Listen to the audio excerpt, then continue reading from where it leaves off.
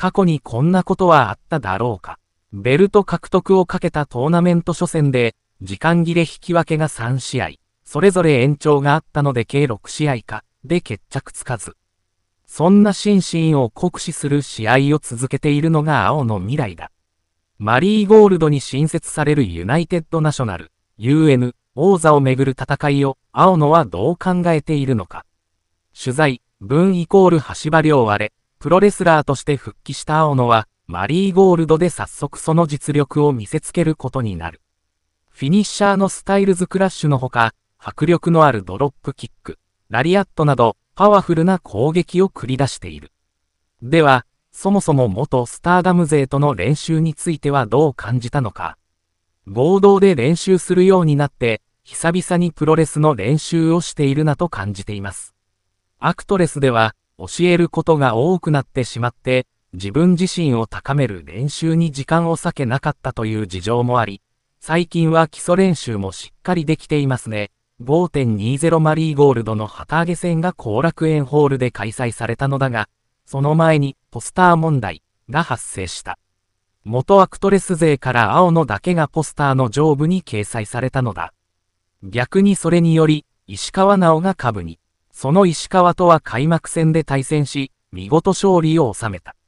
最初下の方を見ていたので、私がポスターにいない、と思ったんですよ。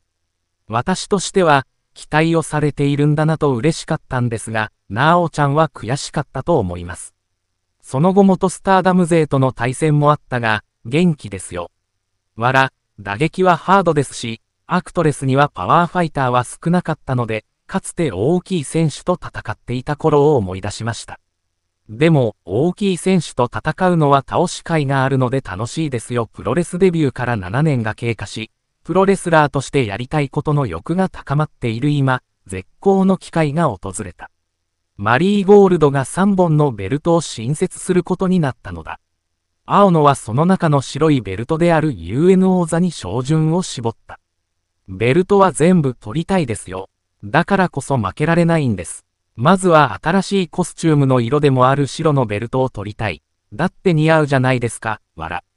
白のベルトをきっかけに、全部取りに行くつもりです。その前に立ちはだかったのが未来。スターダム時代に、白いベルトであるワンダー・オブ・スターダム王座を獲得しているパワーファイターだ。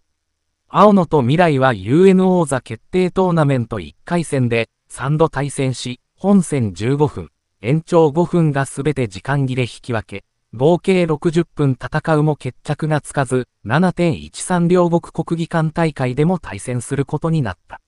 勝者は181センチ、91キロの怪物ゴジラとダブルヘッダーを戦うことになる。2回目の対戦で未来のラリアットを食らって、声が出なくなりました。マイクの声もめちゃくちゃ高くなってしまったんですが、あの声しか出なくなってしまって。それくらいの衝撃が続いていますね、未来との戦いは。まさか3度も対戦して、決着がつかないとは思いもしませんでした。それだけベルトにかける互いの思いの強さの結果なのだと思いますし、ベルトへの道のりの険しさを痛感しています。でも、未来と戦った分、悔しい思いをしている分、ベルトに対する思いは強くなっているし、私自身身も体も強くなっていることを感じていますその青の、両国国技館で試合をするのは初めてとなる。前は両国でやるなんて考えられなかった、デビューしてすぐくらいの時には、他の選手のセコンドで行ったことはあるんですけど、こんな大きなところで試合できるなんてすごいなと思っていました。両国で試合ができるなんて、本当に人生が変わったなと。両国国技館という最高の舞台で必ずベルトを巻き、プロレスラー青の未来として輝いてみせます。